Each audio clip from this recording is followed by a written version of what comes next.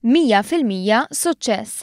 Dan ir-riżultat li kiseb pajjiżna bis-saħħa ta' tfal kollha li rnexxilhom itemmu il-kors Flexel waqt il-Prince Trust, programm li twaqqaf is-sena l-oħra bilan li jgħin iż-żgħażagħ f'riskju li ma jibqgħux iffukati fuq is-sistema edukattiva.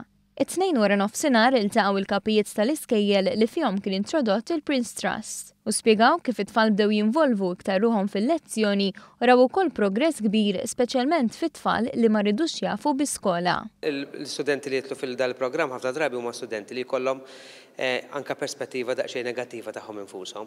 Ara, dal-programm imħab permezz tal-diversi attivitajiet li jagħmlu u anke diversi approaches differenti lejn lejn anke s-suġġett li kif nafuhom is-soltu, jidħlu jidħlu għalihom b'iktar entużjażmu, b'iktar gost, allura hemmhekk fejn hemm il-gost hemm it-tagħlim. Aktar importanti huwa l-fatt li dan il-programm jipprepara lit-tfal għad-dinja tax-xogħol, kif spjegat l-Uffiċjal Edukattiv Murina Morozo.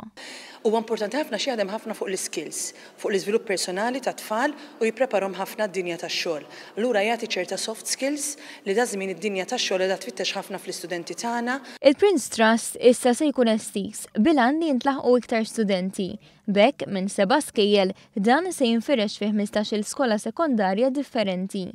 Andrew Bean, il-Kap Eżekuttiv tal-HSBC, li kellu parti kruċjali mill-implimentazzjoni ta' dan il-programm, esprima s-sodisfazzjon tiegħu għall-mod li bih Malta implimentat il-Prince Trust. Every month there seems to be a new country the Prince's Trust is opening into so it stretches now as far as New Zealand to Jordan, in the Middle East, but I think what something we can feel really proud of here is that Malta was the pilot country globally for this programme and not only that, that we've got the best results internationally for the first year. Il-Ministru għall-Edukazzjoni Evarist Bartolo esprima s-sodisfazzjon tiegħu għal dan ir-riżultat filwaqt li ħeġġeġ lill-istudenti kollha biex jiksbu l-ħiliet bażiċi li jippreparawhom għad-dinja tax-xogħol aktar 'il quddiem.